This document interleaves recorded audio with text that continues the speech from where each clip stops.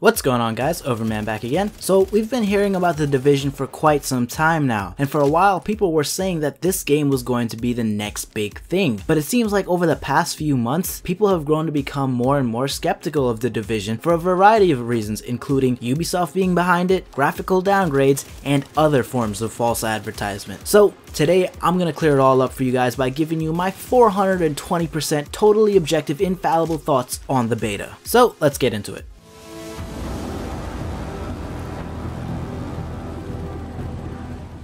The Division is an open world game set in New York City, specifically in the borough of Manhattan. And as a resident of New York, this game gets my seal of approval in terms of the environment. I think the devs did a good job of recreating Manhattan and it definitely feels immersive, especially for a person like me. I also really like the art style of the game. I like the design. I think it looks pretty darn good, even on the Xbox One. Now, The Division is a cover-based shooter, meaning that you will get wrecked if you're standing out in the open trying to shoot bad guys. The gunplay is alright. All the guns I've tried do have a good amount of recoil, which is great, but the weapons seem to lack that mm, punch and heft that guns have in other games. I know it sounds silly, but if you've played the beta and a few other shooters, you'll understand what I mean. But that's the thing. This isn't just another shooter. It's supposed to be an RPG with shooter elements. As such, you'll have an assortment of skills, weapons, and armor to choose from. Now, the weapons and armor will be of different rarities like they are in Destiny. So far in the division, I've encountered whites, greens, blues,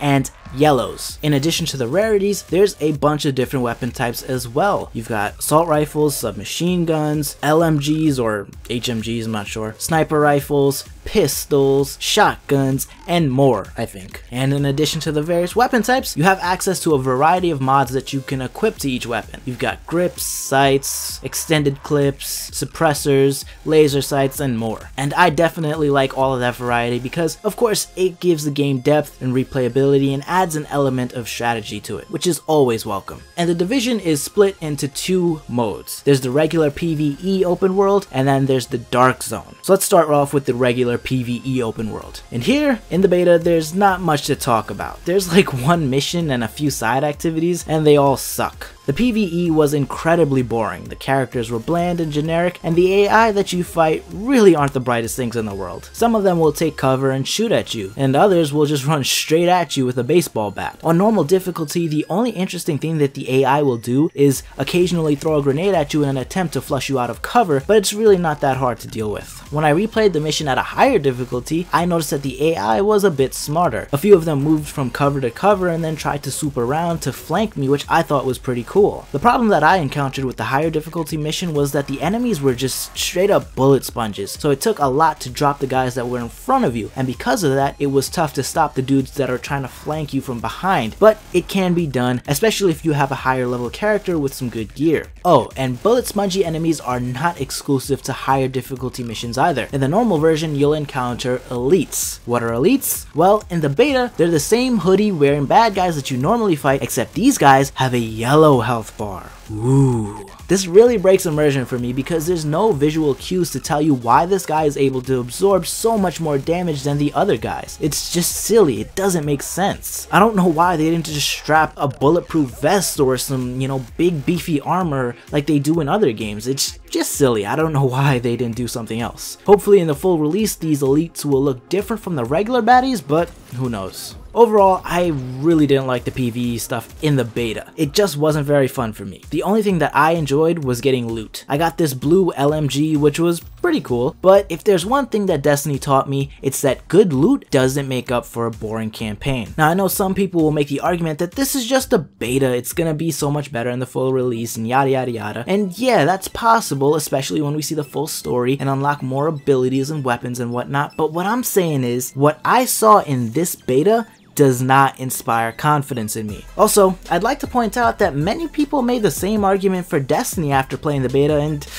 yeah, you know how that turned out. Now, I'm not saying that the Division will go down the same way that Destiny did because that'd be unfair. I didn't play the full game. It could be different. Who knows? But that's the thing. We don't know, so don't get your hopes up. But anyways, let's talk about the other part of the Division, the Dark Zone. The Dark Zone is both a PvE and PvP area. In it, you'll encounter tougher AI enemies, vendors offering loot in exchange for Dark Zone currency, and of course, other players. Walking through the Dark Zone is a lot like walking through the hood. If you get caught lacking, you're done, especially if you got some loot on you. And that's because any contaminated loot that you pick up from the AI enemies in the Dark Zone will be dropped whenever you die. And the only way of getting that loot out safely is by heading to an extraction zone and calling in a helicopter to pick it up. The coolest thing about the Dark Zone is the human interaction. Every time you see someone, you've got to wonder, is this person going to attack me? Are they going to try and make it seem like they're friendly so I can let my guard down and then they can take advantage of me? Which actually happened to me a couple of times because I'm a sucker. But not everyone bad. This one guy randomly attacked me for no reason and then a good Samaritan came through, dished out justice to that fuckboy, and then revived me which I thought was pretty freaking nice. But besides the human interaction and the vendors that will sell some pretty badass gear, the Dark Zone is kinda meh.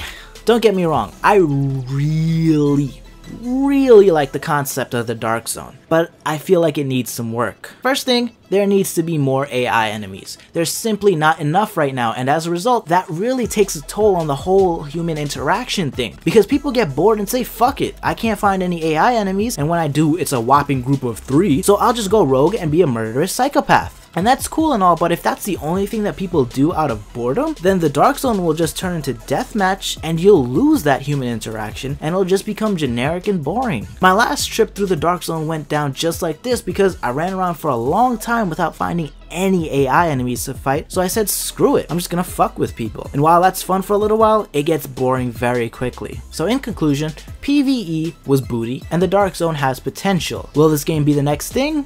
I don't see it happening. From my experience in the beta, it will most likely be average, but I could be wrong. And as usual, I hope I am. But that's going to depend on what Ubisoft is bringing for the endgame content. That's the thing with these games. It's all about the endgame content. If the endgame content, which we didn't play in the beta, is good, then this game could potentially be the next big thing. But if it's not good, yeah, it'll go down like the Taken King, and people will hate it after a few months. But from what I played in the beta, it doesn't seem like it's gonna be the next big thing. It just seems like it's gonna be alright. But that's enough babbling from me. If you enjoyed the video, don't forget to smash that like button. If you're not feeling too shy, drop a comment down below. Let me know what you think about the division. And if you want to see more videos like this in the future, be sure to hit that subscribe button and follow me on Twitter. Link will be in the description box below. That's it for me though, guys. Over, man.